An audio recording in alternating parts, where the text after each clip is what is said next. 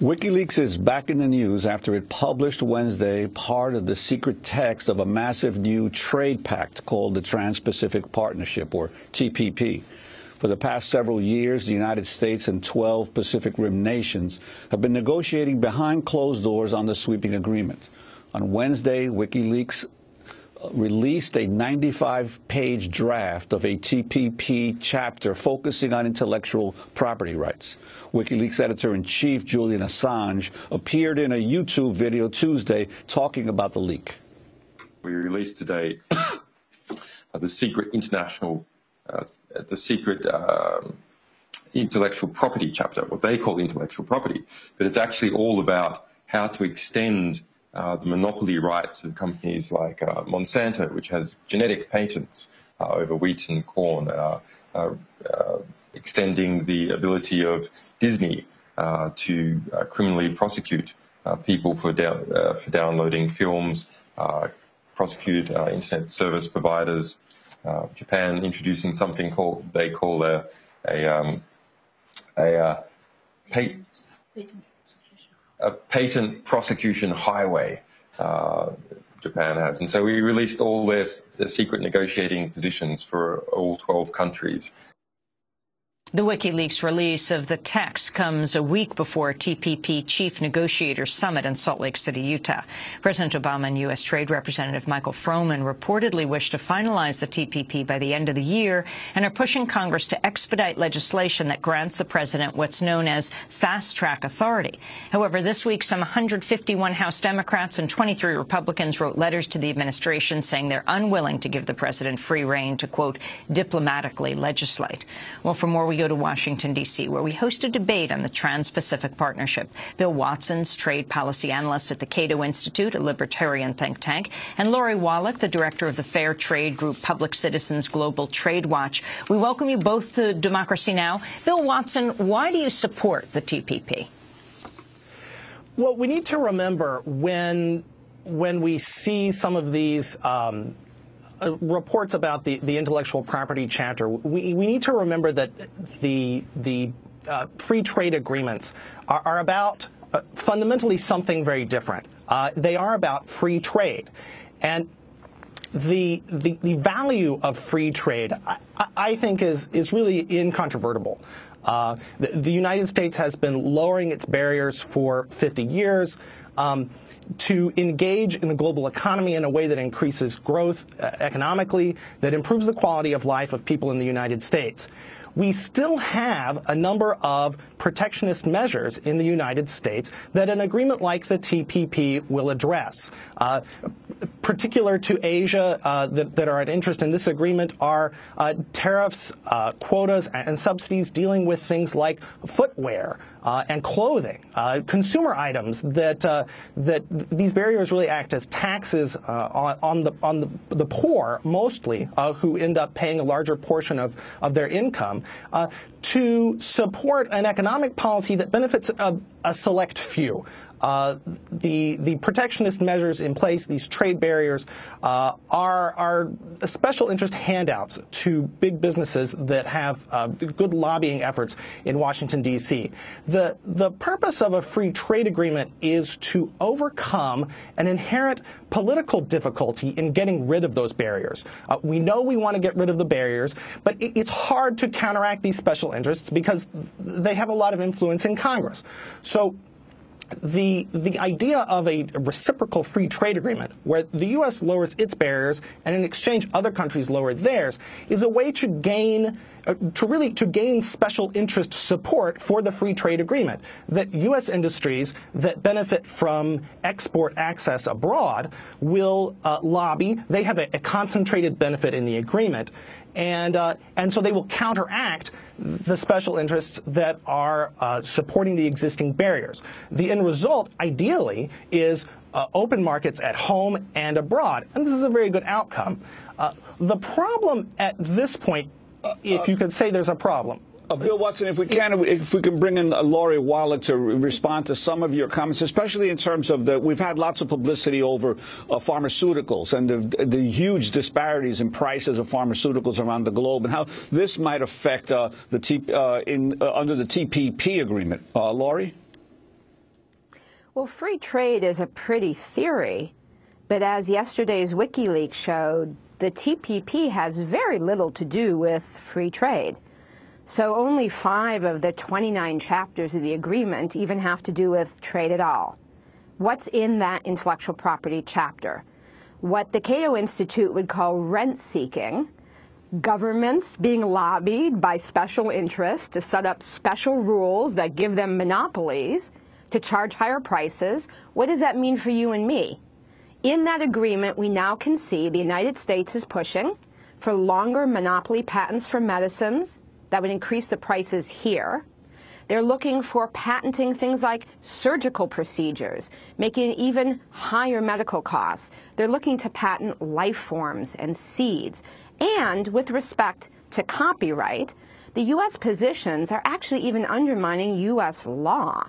So for internet freedom, if you didn't like SOPA, the Stop Online Piracy Act, the, the, the, domestic law that Congress, in amazing citizen activism, killed last year when it was attempted to be pushed here domestically, huge chunks of SOPA are pushed through the back door of this intellectual property chapter. Now, what the heck is that doing in a free trade agreement?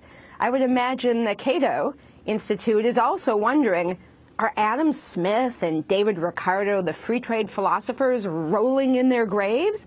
Because that is protectionism. This is patent monopolies. This is copyright extensions.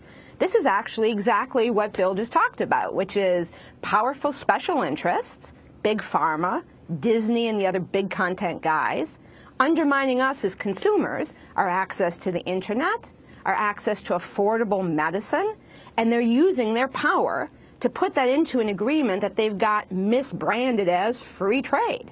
That's what's the real TPP. So maybe actually we agree between the consumer group, Public Citizen, and Cato that what's in TPP, whatever you think about free trade, ain't so good for most of us this is a, a, rare occasion where I, I, I, do agree with Lori Wallach. I, I agree that, uh, that what's going on in the IP chapter is a special interest uh, free-for-all, a, grab bag. U.S. U.S. companies are, are uh, pushing to get what they want in these agreements. and the problem really with that is that intellectual property is not a trade issue, and it shouldn't be in the agreement. Uh, originally, adding intellectual property into the agreement was a way to bring on more political support to be able to bring in U.S. companies to counter uh, other U.S. companies that would oppose the agreement.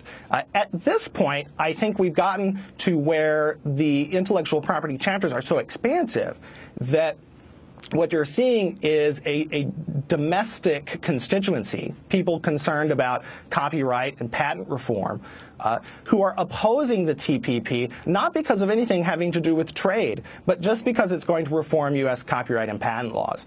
Uh, so the uh, what I would say is that we need to have a renewed focus within these trade agreements to be more about free trade and less about some of these other issues like intellectual property rights. But uh, Bill Watson, why should we even have to depend on WikiLeaks to provide information on what's in the, uh, this uh, uh, this proposed uh, agreement? isn't the actual just the super secrecy under which this agreement has been worked out raise questions for ordinary citizens about why all the secrecy? I, you know, I'm certainly glad that WikiLeaks published this report. I, personally, I like to be able to read it. I, it's very interesting. I wish that they would publish the, the rest of it uh, to show us the rest of the draft text. I, I don't think that it would be, at this point, particularly harmful to the agreement to let us know something about the country's negotiating positions. But I really I really disagree that the TPP negotiations are especially secret. Uh, th there's a lot that goes on in Congress that the public doesn't know about. When Congress writes a law, we don't know in advance what it's going to be before it gets proposed. Uh, so th they're still trying to figure out what the contents of the agreement will be. Uh, they, they don't know yet. They're working on it. So uh, eventually, we'll see something. We'll see it well in advance of when it becomes law, and Congress will have a chance to decide to vote yes or no on the agreement. Lori Wallach, what most surprised you about seeing the TPP agreement for the first time yesterday, you know, the WikiLeaks leak? Well, first of all, this is extraordinarily secret. I've followed these negotiations since 1991 with NAFTA. And during NAFTA, any member of Congress could see any text. In fact, the whole agreement between negotiating rounds was put in the Capitol accessible for them to look at. In 2001, the Bush administration published the entire free trade area of the Americas text when it was even in an earlier stage than TPP is right now on government websites. They've even excluded members of Congress from observing the negotiations. I mean, this is extraordinary. And so to me, what was the most horrifying, I would say, is the ways in which the U.S. negotiators are using this agreement to try and rewrite U.S. law. I mean, I find it morally repugnant and outrageous that the U.S. negotiators be pushing Big Pharma's agenda to raise medicine prices for the developing countries in the TPP. People in Vietnam, in all the developing countries that have HIV AIDS, that have malaria, they need access to generic medicines, and this would cut it off but they're actually doing it also to us. So to the extent theoretically they're sort of supposed to be representing our interests, it would make cancer drugs in this country more expensive. Evergreening of patents, changing just a little tweaky thing, the six year, the six hour versus 12 hour version of a medicine, you get 20 more years of monopoly. Also undermining our internet freedom by rewriting U.S. law there's language in there where U.S. law says there's an exception for liability for U.S. internet service providers. The U.S. is the only country in that bracket that's saying, no, we shouldn't allow that in TPP. It's backdoor diplomatic legislating. And that ties into that business with fast track. Why were, and it's now 27 Republican members, because there was a second letter that came out of Republicans, and 151 Democrats, why were they all saying together in the last 36 hours, no fast track trade process? We don't want to give away our constitutionally granted authority over trade policy. And a big piece of the reason is the left and the right in Congress may disagree on what the policy should be, but they actually believe that constitutionally Congress gets to write our legislation.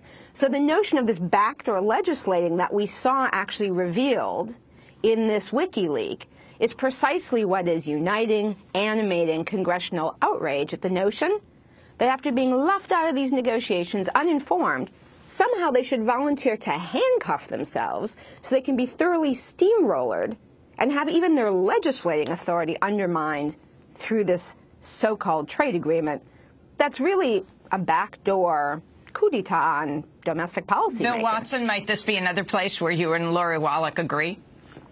Uh, not really. No, I, I see it on, on fast track. Uh, let me just say that I, I, I, don't have a lot of confidence in Congress's ability uh, to come in and, and resist special interests and make good policies on these areas. Uh, but actually, fast track is a way for Congress to exert its influence over these agreements. When it when Congress passes fast track, it imposes a number of negotiating objectives. One of those, if Congress imposes fast track, is to is to have strong IP measures in the agreement. So uh, you know you don't necessarily want Congress's input. Uh, you know if you're trying to get a good policy here, but you but you do get it through fast track, and you get increased transparency. Fast track will set the rules for what the president, who the president has to talk to and inform in Congress, and and how Congress participates uh, in the agreement. But uh, let me also say, uh, you know, when Lori talks about how increased patent law uh, on pharmaceuticals is going to harm people uh, in poor countries like Vietnam. I, would like to point out also uh, that trade barriers harm people in countries like Vietnam. Uh, our trade barriers harm them. Their trade barriers harm them. It stunts the growth of their economy, prevents them from, from engaging uh, in, in, in uh, commerce that increases their quality of life. Um, wh what we need to do is not ditch the free trade agreement because some parts of it are harmful. We need to get rid of the harmful parts and recognize the, the, the, value of these agreements in improving quality of life around the world. Lori Wallach. I'm sorry. Right now, under the so-called trade authority system, there are 600 corporate advisors who, with the executive branch, are behind closed doors making these rules, seeing the text. I myself have much more faith in the U.S. Congress, the U.S. public, and the U.S. press, and the democratic process, with all of us who will live with the results, messy though democracy may be, having the ability to make sure these policies work for us. I don't want a bunch of unelected U.S. trade negotiators and 600 corporate advisors dictating my future through so-called trade agreements. I mean, these agreements, once they're implemented, you can't change a comma unless all the other countries agree. It locks into place, superglues, cements into place one vision of law that, as we've seen, has very little to do with trade. It's about domestic food safety.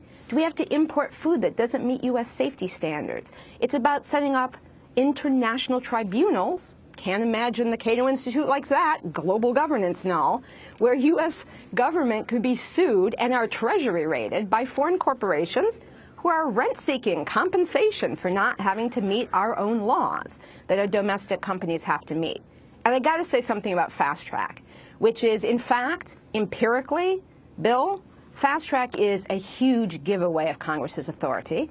And for anyone who wants to get into the weeds, please take a look at my book, The Rise and Fall of Fast Track Trade Authority. You can get it on tradewatch.org, www.tradewatch.org.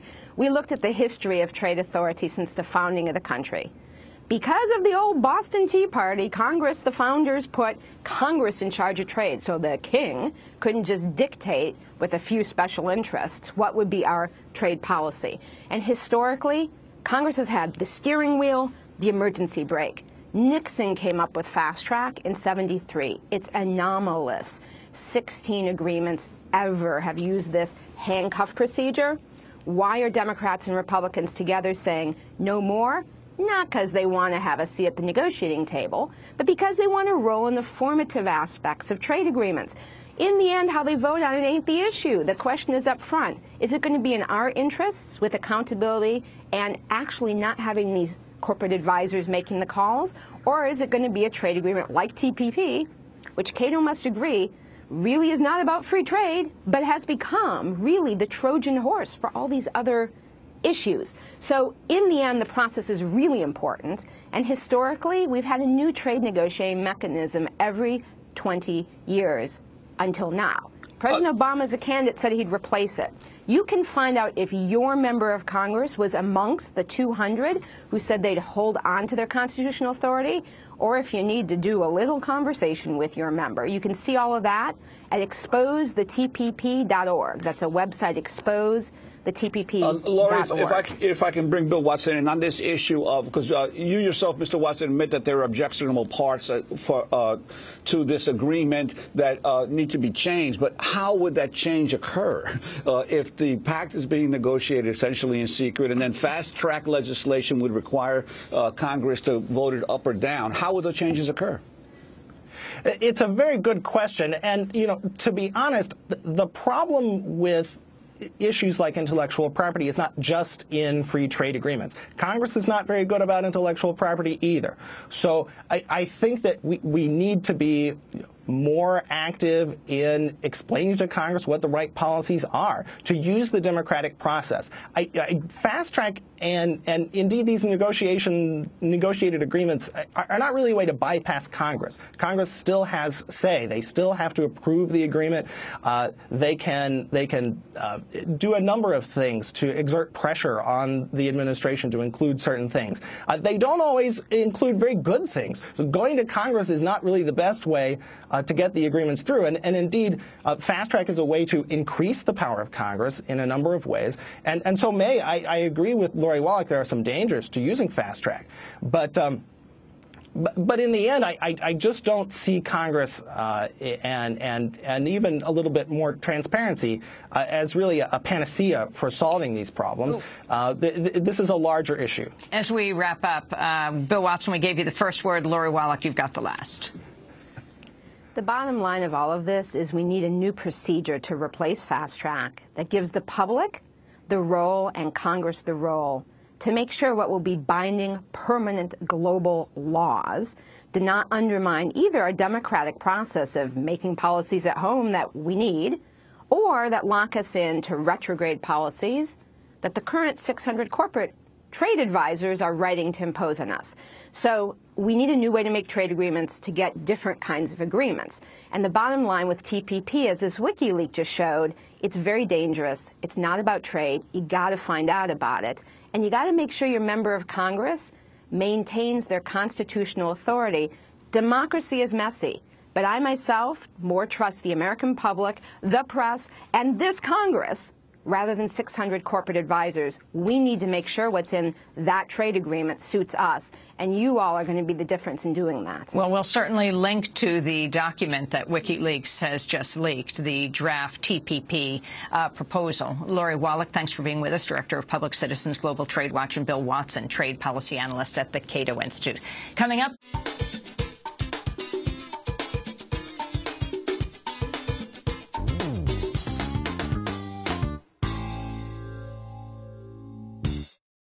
Congress to expedite legislation that grants the president what's known as fast-track authority. However, this week, some 151 House Democrats and 23 Republicans wrote letters to the administration saying they're unwilling to give the president free rein to, quote, diplomatically legislate. Well, for more, we go to Washington, D.C., where we host a debate on the Trans-Pacific Partnership. Bill Watson's trade policy analyst at the Cato Institute, a libertarian think tank, and Lori Wallach, the director of the fair trade group Public Citizens Global Trade Watch. We welcome welcome you both to Democracy Now! Bill Watson, why do you support the TPP?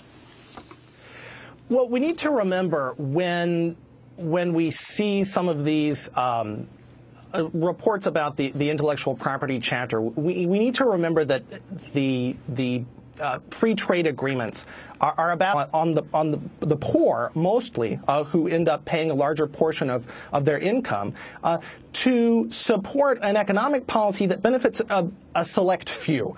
Uh, the the protectionist measures in place, these trade barriers, uh, are are special interest handouts to big businesses that have uh, good lobbying efforts in Washington D.C.